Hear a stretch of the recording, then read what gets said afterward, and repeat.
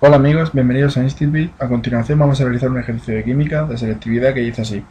Se necesitaron 32,6 ml de una disolución de hidróxido de sodio de concentración desconocida para valorar 50 ml de una disolución de ácido acético de 0,212 molar.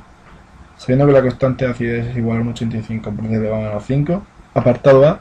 ¿Cuál es el pH de la disolución de ácido acético? Y apartado B. ¿Cuál es la concentración de la disolución de hidróxido de sodio? Bien, pues empezamos por el apartado A. Para calcular el pH del ácido acético plantamos el equilibrio y calculamos la concentración de iones hidróneo. Ácido acético más agua.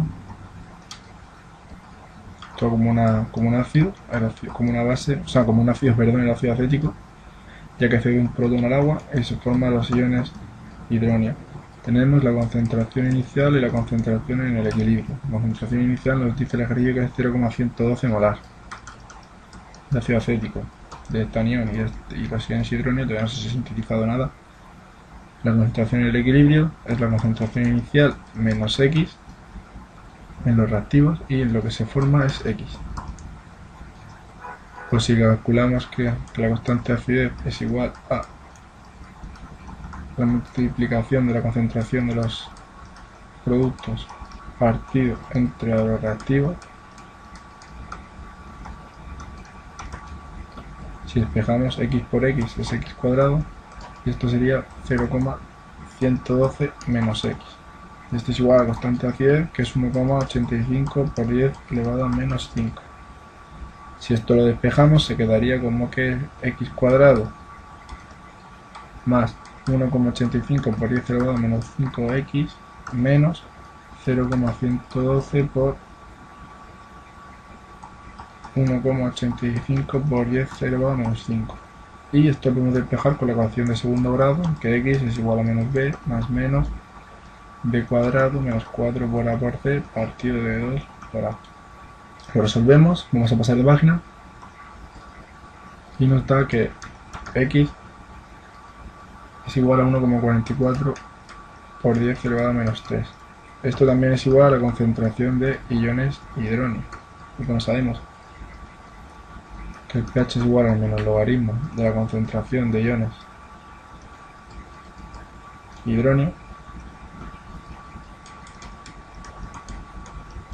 esto nos da que es igual a eh, menos logaritmo de 1,44 por 10 elevado a menos 3, pues lo que es lo mismo, 2,84 el pH.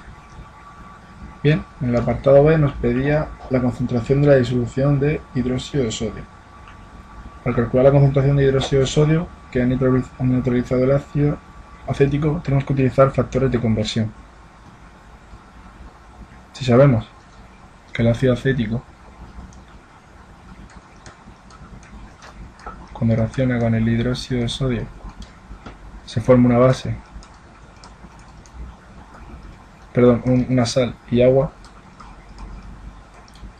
La concentración de ácido acético sabemos que es tenemos 50 mililitros y la concentración molar es 0,112 molar.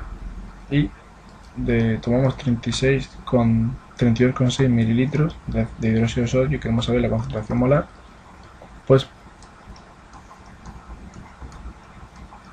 La concentración molar de sodio será igual a los 50 mililitros de ácido acético utilizados.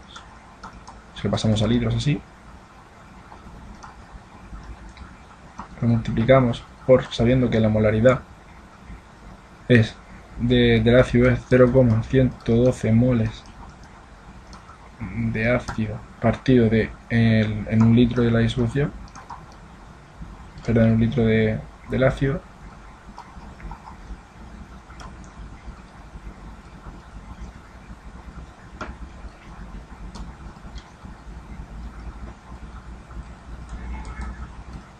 los litros de ácido con litros de ácido se nos va. Como la reacción estequiométrica es un mol de ácido por un mol de base, los moles de ácido con los moles de ácido se nos van. Y por último, dividimos entre el volumen que hemos utilizado que es 36,6 32,6 por 10 a menos 3 litros de base y esto nos da una concentración molar de 0,17 molar. Bueno, esto ha sido el ejercicio, si os ha gustado visitad el instituto. Un saludo